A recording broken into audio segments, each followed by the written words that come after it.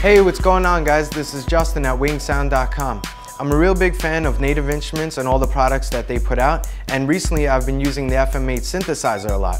In this tutorial, I'll go through the morphing section of that synthesizer. If you have any questions, comments, or ideas on this tutorial or any other that I've put out, please get in contact with me through email, justin at winksound.com. Okay, so I have this preset sound here, the analog sequence. I'll just play it for you.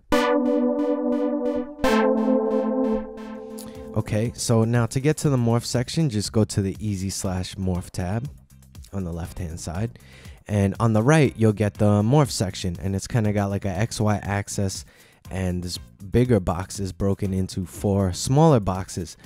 And as you can see, the little box inside is not red. When it turns red, there's sounds in there that you can manipulate, you know, and use the morph function in there, but there's nothing in there now. I'll show you when I move it around, you don't hear any changes. All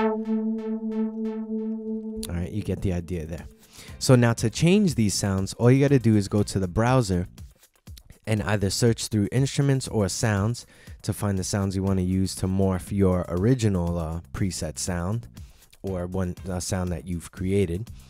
And I'm just going to pick some random stuff here. I'm going to go through soundscapes and once you find something that you like, just click, drag it up to the top here. And this box here is, you know, a representation of that morph uh, section. So what you want to do is grab the sound and drop it in one of the boxes. So as you can see now there's a little arrow there that'll allow you to drop it in there. So I'm going to drop this one here. Again, I'm choosing random sounds. So that one's the bottom uh, right. This one's the top right bottom left, and the top left. Really simple. So I'll go back to the easy morph tab and as you can see now that little box is red and all four of those sounds are in the four different boxes. So all you got to do is get your mouse, click on the little box and drag it around to, you know, morph the sound in with all these different sounds that you chose.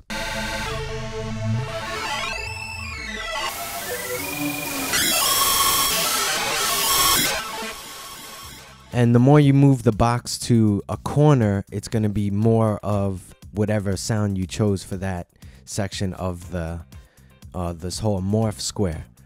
So, you know, if I bring this all the way down to the corner of the I am the vessel sound, it's going to be mostly that sound.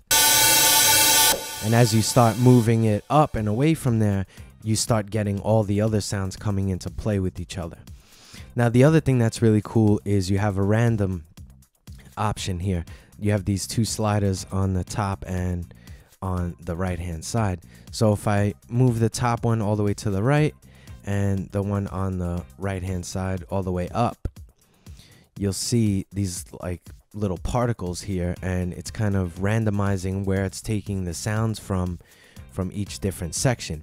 And then you have this randomized seed and you know the more you adjust that the more these particles become randomized and you know you can get some very very creative stuff going.